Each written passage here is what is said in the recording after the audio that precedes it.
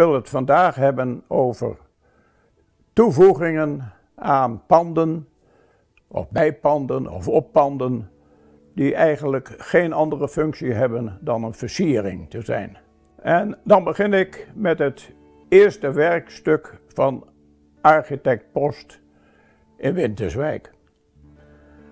Al halverwege de 19e eeuw was er sprake van een koffiehuis De Harmonie, dat in 1865 door Gerrit Bekkers werd gekocht. Hij werd dat tappen werd hij opgevolgd door zijn zoon Jan Hendrik.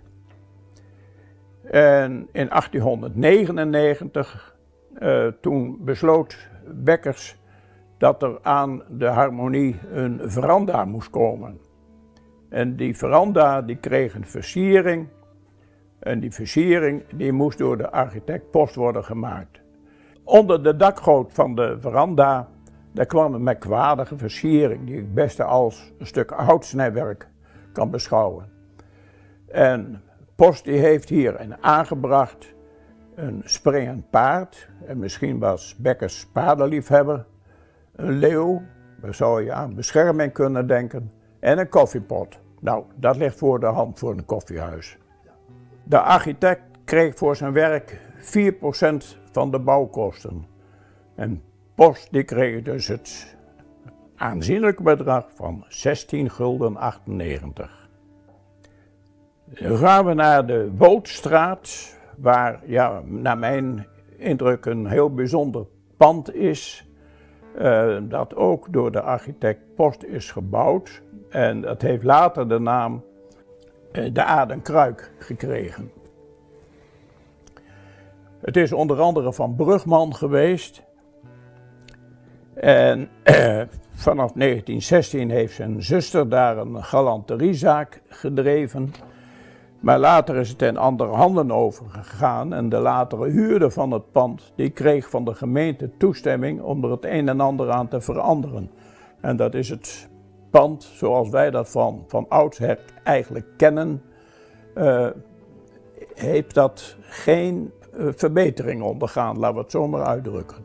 Alleen een heel aardig uh, aspect, dat zijn twee kopjes, die zijn gelukkig behouden gebleven.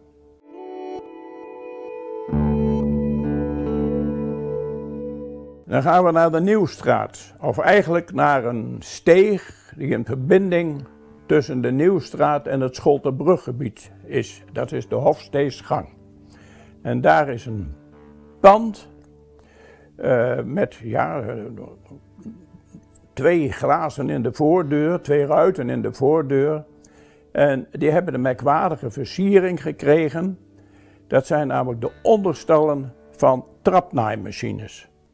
En daar is in het, ja, het merk, het fabrieksmerk te lezen, de Phoenix. En dan zou je kunnen afvragen, uh, zou dat misschien iets te maken kunnen hebben met dat dat pand uit de as herrezen is? Misschien heeft iemand van u daar een voor mij uh, belangrijk antwoord op. Uh, de volgende keer, daar wil ik graag verder gaan met een aantal versieringen, waar onder andere ook het buitengebied aan bod komt.